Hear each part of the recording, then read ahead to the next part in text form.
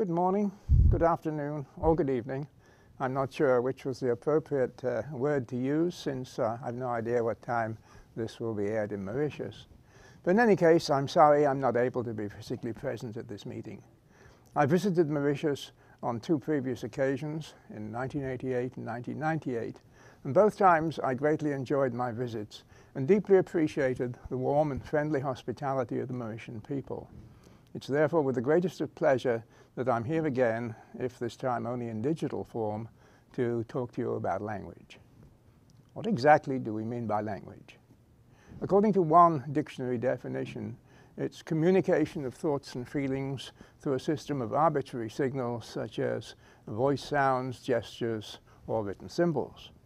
According to another, it's a systematic means of communicating ideas or feelings by the use of conventionalized signs, sounds, gestures, or marks having understood meanings. But these typical and very common definitions leave something out. They imply that thoughts and ideas have an independent existence, quite apart from language. They imply that thoughts and ideas are somehow already there in the mind, they're just waiting for you to find the right words to express them. They imply that language is simply a means of expression, nothing more. In fact, language is a lot more than that. Ask yourself, if you weren't human, would you be able to have the kind of thoughts and ideas that all of us humans have? If you were a lion, say, would you be able to think, I'm the bravest lion on the savannah? You couldn't say it, but if all language does is express thoughts, you ought to be able to think it. If you were a cow, would you be able to think, if it gets any hotter, I'll have to move into the shade? I doubt it. You would just get hotter, and after a while, you would move into the shade. But you probably wouldn't be able to think about doing it before you actually did it. Thinking, or at least thinking in the way humans do it, is based, just like language, on symbols. Symbols are signs that somehow stand in place of the things they represent. That is, things that exist in the real world. Thinking and language both involve doing things with symbols.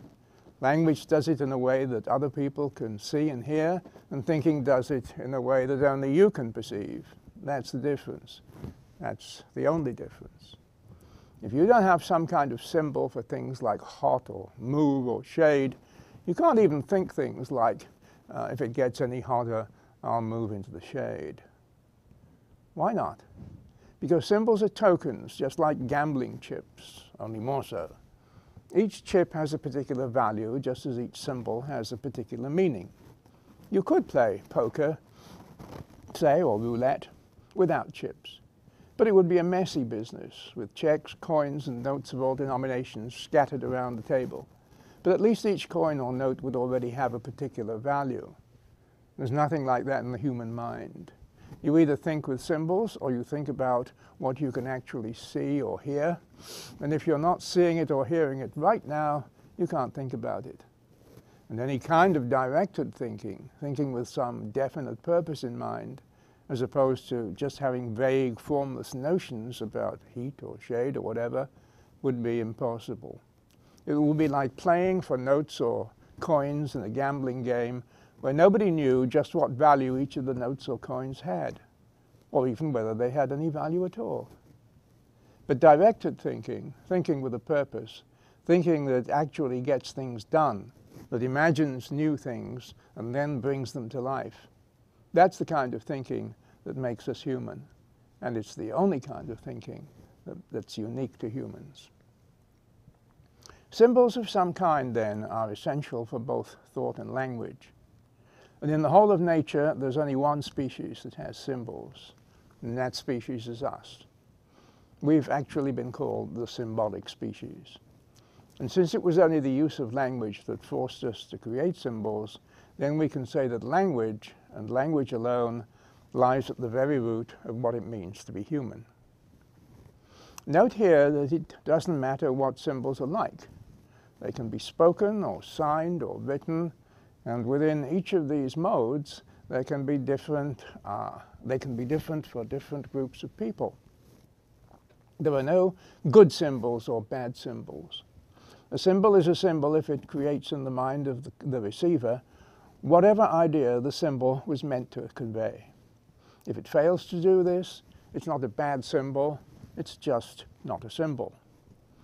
Dog represents, for speakers of English, a particular kind of small canine mammal. For speakers of French, chien does the same thing. For speakers of Spanish, the symbol is perro. And for speakers of German, it's Hund. These four symbols don't resemble one another in the slightest, and there's nothing in any of them that would, for a speaker of Chinese, say, suggest that all four of them refer to the same thing, or that the thing they referred to was a small canine mammal. This is what we mean when we say that symbols are opaque. They don't wear their meanings on their sleeve. This is what we mean when we say that symbols are arbitrary. They have no direct connection with the thing they represent. In other words, it doesn't make any difference. It doesn't matter in the slightest what symbol you choose, as long as everyone agrees about what the symbol stands for. You can never say that some symbol is better than others or worse than others. Bear this in mind later on when we come to what some people have called good or bad languages. Language then has as its basis a set of symbols. But a set of symbols alone is not enough. One symbol by itself tells you very little. If I say just dog, you will know I'm thinking about a particular kind of animal, but you won't know much more than that. You won't know if I'm thinking about one particular dog or some set of dogs or dogs in general. Still less will you know what at that particular moment I'm thinking about dogs. That they're man's best friend, that they're annoying when they bark. For symbols to do more than just refer to things, for symbols to make statements about things, you have to put two or more of them together, like in dogs bark. Now you know I'm talking about dogs in general and about one particular behavior of dogs that I'm thinking about. But you still don't know whether I approve of their barking because it keeps away intruders or disapprove of it because the noise irritates me. The fuller and more complete the thought I want to convey to you, the more symbols I need to express it. So language involves not just having symbols, but putting symbols together to form the strings that we call sentences. Can't we put want together them any we we too? Got that? Of course not. The symbols for what I want to say are all there, but I didn't put them into the right order. What I want to say is, we can't put them together any way we want to. That sentence contains 10 words, and there are literally millions of ways in which we could have put these two 10 words together. But only one of these ways gives the meaning I intended, or any meaning at all for that matter. It follows that for understanding to take place, we have to know certain rules, rules that determine the orders in which symbols can be placed. In the case of our native language, at least, we were never specially taught these rules. By the time we get to school and are taught rules of grammar, we already know all the rules of grammar. The rules we are taught in school usually aren't rules of language at all. They're things like never end a sentence with a preposition, a rule Winston Churchill demolished with the remark, that is a restriction up with which I will not put.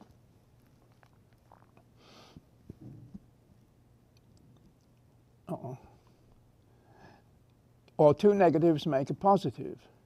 That's a flat out lie. In most languages, two negatives make a negative. They're not rules of grammar, they're rules of social behavior, rules that someone, somewhere, quite arbitrarily decided were the right thing to do. Like other rules, like not dropping the G in going to say going, uh, that's a lie too. There's no G at the end of going. They have nothing to do with language and everything to do with sounding like nice people. The system of rules that we use when putting words together is known as syntax. Syntax is a vast and very complex subject, and I won't be able to say much about it here. It's enough to note that while some basic principles of syntax are the same throughout language, each of the several thousand forms that language takes, that's to say six or seven thousand different human languages, has on top of these universal principles a number of rules of its own. Some languages have a lot of these extra rules, others have relatively few. It follows that some languages have a more complex syntax than other languages, or at least that seems more complex. It often happens that what is complex in one area is offset by what is simple in another. So there's really no single objective measure by which we can say unreservedly language A is more complex than language B or vice versa. But we may get the impression that a language with fewer rules over and above universal principles is somehow, in some sense, simpler than one with more rules. In the old days, people used to believe that European languages were more complex than non-European languages and therefore superior to non-European languages. Then as more and more non-European languages were studied, it became obvious that some of these were far more complex than any European language. Indeed, some European languages, such as English, and some non-European languages produced by highly developed cultures, such as Chinese, were in fact a lot less complex than many languages spoken by small remote tribes who had no writing systems. Consequently, the rule, the idea that there was some kind of pecking order in languages, with languages like French and English at the top, had to be abandoned, with a few exceptions. These exceptions consist of what came to be known as Creole languages. Languages like one that all of you here are familiar with, Mauritian Creole French, or simply Creole, as many of your speakers call it. Many people who speak Creole languages still think that their language is unique. Or if, for example, they speak a Creole that draws most of its vocabulary from French, they may think that only languages related to French can be described as Creoles. In fact, there are around 80 different Creole languages in the world. And while some, like Creole, get most of their words from French, others get them from English, Dutch, Spanish, Portuguese, or even Arabic. But wherever Creoles are located, in whatever language or languages contributed to their vocabulary, they're remarkably similar in their grammars. While a tiny handful of scholars had been interested in Creole languages for a couple of centuries, it wasn't until about 50 or 60 years ago that linguists began to scientifically study Creole languages. It then soon became clear that most of the things people had believed about Creole languages simply were not true. For instance, it was believed, and is still believed by some people, that Creole languages were somehow inferior to other languages. Creole languages were inferior, it was said, because the people who originated them had been too slow or too backward or too stupid to learn languages like French properly. Creole languages were just corrupted versions of European languages. Creole was no more than extremely bad French. Indeed, Creoles did not deserve even the name of language. Polite people called them dialects. People less polite called them jargon, broken talk or in French-dominated areas, patois. to use a Creole language in public was thought of almost universally as a sign of low intelligence or lack of education or both. In Hawaii, where Creole is based on English, there's a joke about a man who had brain surgery that goes drastically wrong. Before the operation, he talked like this. After it, he go talk like this. In fact, the notion that Creole languages are somehow inferior languages has no basis whatsoever. In the first place, Creole languages are not merely corrupted or reduced versions of European languages. The fact that many, even most of their words, may be drawn from a European language merely obscures the fact that such words almost always undergo both changes in form in the ways that they are pronounced and written, and changes in meaning.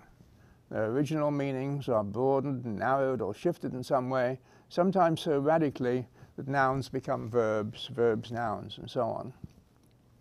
In the second place, The claim that Creole languages have no grammar is totally false. Creoles have complete and indeed quite rigorous grammars, at least as precise and detailed as the grammars of French or English. They are just different from French or English grammar, which is of course exactly what you would expect if they were real languages in their own right, rather than merely reduced versions of European languages.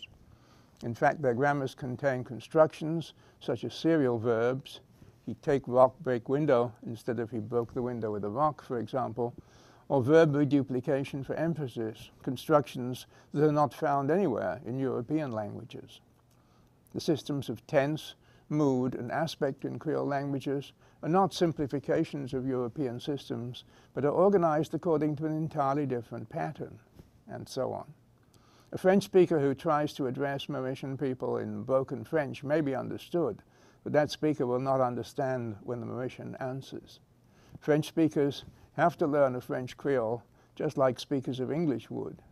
It may be easier for the French speaker because some of the words may be recognizable, but it will be no easier for him to learn the grammar. So if there's no linguistic inferiority, where do people get the idea that Creoles are inferior?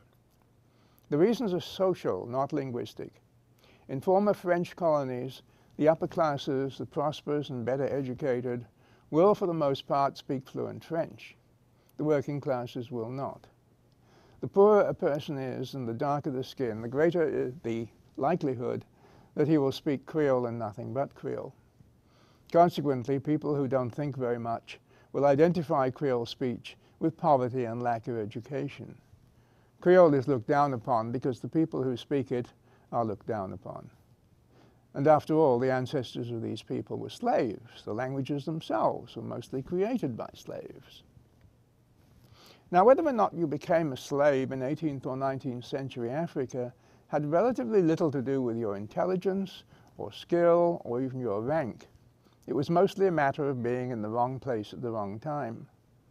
But since you were a slave, you immediately became unskilled and unintelligent and uh, low ranking, or at any rate, that is how you were perceived. Consequently, your language, like everything else about you, could not be taken seriously by free and prosperous citizens. In other words, the reasons Creole, Creoles have been despised is prejudice, pure and simple prejudice, nothing more. People who look down on Creole languages, who regard them as unfit to use in schools or universities, simply need more education themselves. The more they can be taught to understand and appreciate these languages, the more they will free themselves from anti-Creole prejudice. A large part of understanding Creole languages comes from looking at the circumstances under which they were born. They arose because new societies needed new ways to communicate. Typically, in the tropical colonies of European powers, a small handful of Europeans would begin to assemble a plantation workforce by buying slaves from a number of different areas. In consequence, those newcomers spoke a variety of languages, and in most cases were unable to understand one another. But for a plantation to work properly, there had to be a common language. The language of the plantation owners, French or some other European language, wouldn't work. In the early days of a plantation colony, where there were few Europeans but also relatively few slaves, learning might have been possible, and it's likely that the first slaves acquired a fairly adequate version of their master's language. Soon, however, the population ratio changed from Africa and in the case of Mauritius from Madagascar and from India too, thousands more workers were quickly brought in. Soon there were 10 speakers of French, sorry, uh, there would be 10 non-speakers of French to every French speaker. And as numbers rose, the social distance between master and slave increased. Soon learning became impossible. But the newcomers had to communicate somehow. They did so by whatever means they could, by picking up isolated words from French and from the languages of other newcomers, and by stringing these words together as best they could.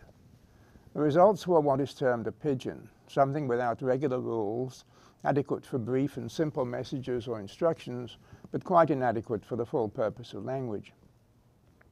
The people involved in this process were all adults. And it's well known that there are wide differences between adults and children when it comes to acquiring language. Children almost universally acquire a first language without any explicit instructions, and afterwards, as long as they're still children, find it quite easy to learn other languages. But as they become adults, things change. If they are one of the tiny minority who, th through some abnormal circumstance, have failed to learn a first language, they will find it extremely difficult, often impossible, to learn a full human language at all. If they already have a first language, they will find it much more difficult to acquire a second and may fail absolutely or acquire only a handful of words and phrases the, to the new target. Why is this so? In all other areas, from tying shoelaces or riding bicycles to high-level math or physics, adults are much better learners than small children. So the reason cannot be that children have some arsenal of learning skills that adults lack. One fact we do know is that the brains of young children are much more flexible than the brains of older persons, a flexibility that decreases steadily over time as fixed brain circuits, especially circuits dedicated to the speaker's native language, become more and more firmly established. It may be that these fixed circuits block access to the basic processes that underlie language and that enable children to learn not only their own language, but one or two or even more other languages, provided exposure to these comes early enough. The hypothesis that children have greater access to some basic universal process of language creation explains several things about Creole languages that otherwise would remain mysterious. Adults who find it difficult to acquire a new language seem to find it almost impossible to create a new one. In Hawaii, Pidgin existed for nearly a hundred century and a half with little structural change or development, because for most of that period, it was spoken exclusively by adults. The Hawaiian language was acquired instead by the relatively small number of non-Hawaiian children born during this period. Then at the end of the 19th century, the Hawaiian language suffered a sharp decline and children began to use the pidgin. In using it, they transformed it in a single generation from a formless, highly variable, and extremely limited medium to a full, and highly regular human language, what is now known to linguists as Hawaii Creole English. Although evidence is far from complete, a similar transformation seems to have taken place in all Creole-speaking communities. First an unstructured pidgin, then as soon as children begin using it, a rapid transformation into a complete and regularly structured language. There is yet further evidence for a connection between the birth of Creole languages and the ability of children to access basic universals of language. This evidence comes from the profound structural similarities that exist between all the languages that have been formed in former plantation colonies. That is to say, all the languages that have undergone this pidgin to Creole transformation. It's sometimes claimed that these similarities arise from the fact that all the Creoles concerned are related to European languages. This claim is nonsense. Most of the features Creole languages have in common are features that are not present in any of the European languages. So where do these features come from? It's been claimed that they come from what are called substrate languages, the languages of West Africa that were spoken by slaves in the Caribbean colonies. In other words, it's claimed that those West African slaves simply kept features from their original languages when they formed the, the various Caribbean creoles. If this were true, then Mauritius, which had at most two or three hundred slaves from West Africa, and the Seychelles, which had none, and Hawaii, which had none, would have none of these features. Instead, they ought to have features from Malagasy or East African languages in the case of Mauritius and the Seychelles, or features from Pacific or East Asian languages in the case of Hawaii. But they do not. They have features that are similar to those of all the other Creoles, the languages that have supposedly inherited West African features. So in all attempts to explain the deep similarities among Creole languages have failed. The only possible explanation is that in creating Creole languages, the children involved somehow must have tapped into universal processes of language creation, probably the same processes that originally launched human language.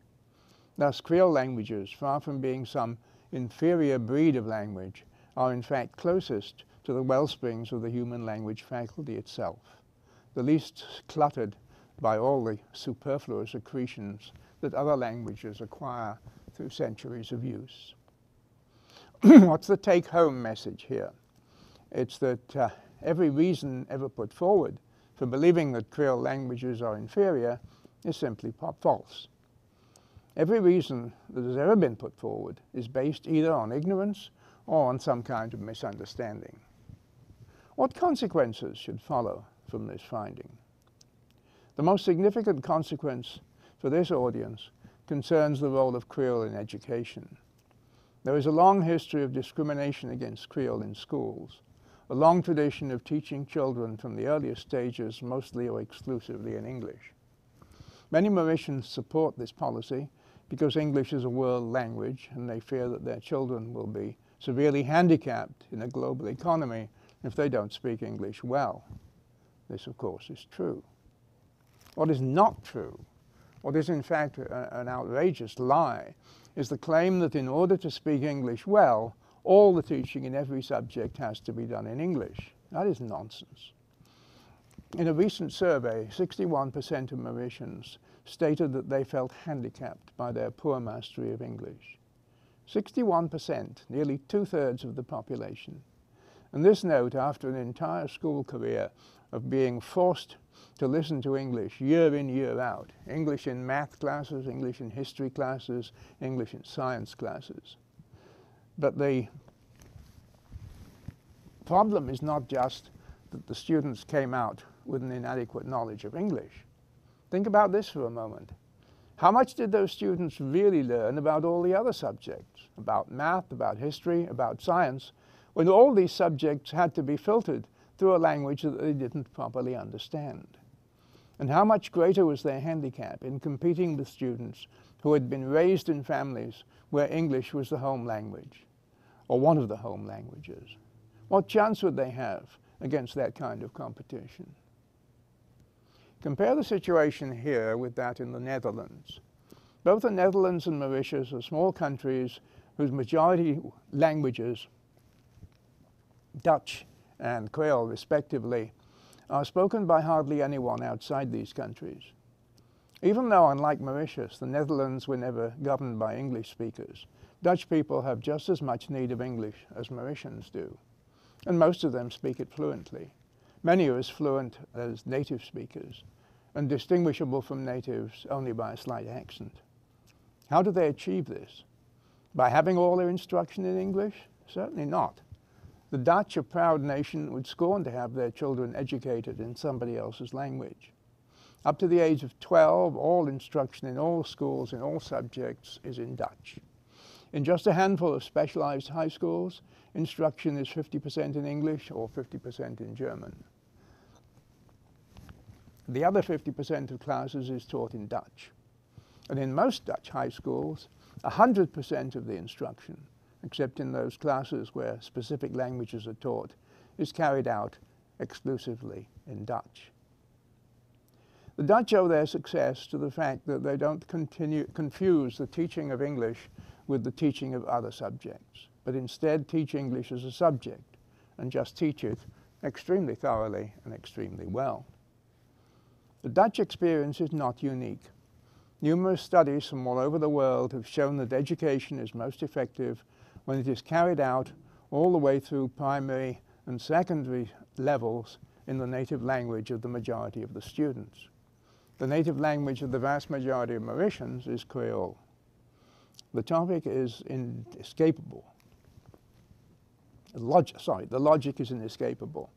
Creole is not only a full and fully respectable language, able to hold its own against any other, it is also the language in which all citizens of Mauritius should be taught if they are to become fully functional members both of their own society and of the larger world beyond the island's borders. Thank you very much.